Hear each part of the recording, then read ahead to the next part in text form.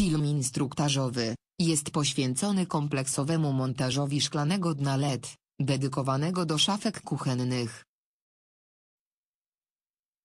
W pierwszym etapie przy pomocy gumowej przyssawki ostrożnie wyciągnij szklaną półkę.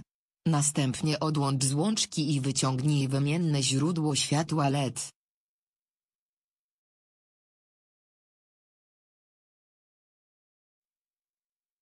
Tak wygląda wymienne źródło światła.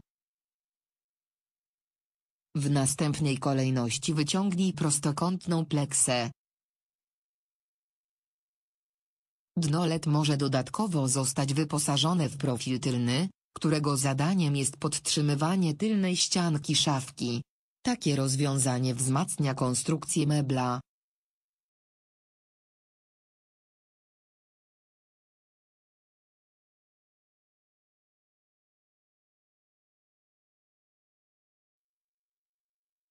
Jak widać na prezentacji tylna ścianka szafki posiada dodatkowe wzmocnienie, które uniemożliwia osunięcie się pleców mebla.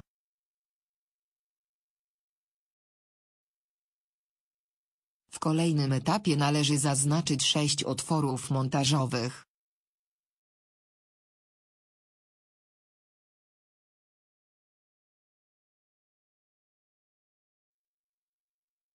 W następnej kolejności wywierć otwory montażowe. Pamiętaj, aby nie przewiercić płyty mebla. Aby tego uniknąć zastosuj wiertło z dystansem.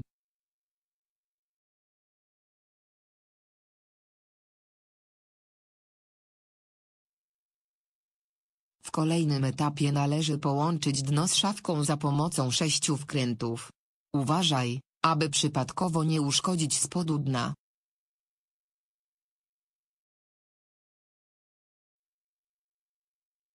Następnie, włóż prostokątną pleksę. Po czym wprowadź przewód przyłączeniowy poprzez otwór znajdujący się w tylnej części dna.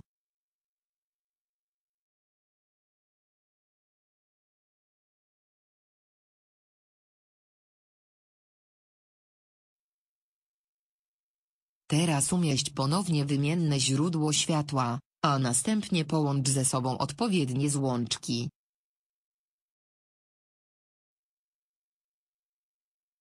Ostatnim etapem montażu dna LED jest umieszczenie górnej półki szklanej. Pamiętaj, aby zachować ostrożność.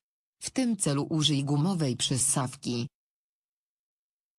Po zmontowaniu dna LED, zawieś szafkę na ścianie, a następnie podłącz układ zasilający.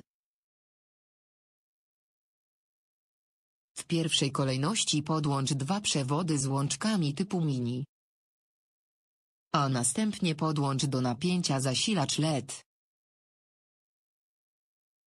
Gotowe. Teraz możemy sprawdzić poprawność działania układu. Dno LED posiada wyłącznik sensorowy, który reaguje na dotyk.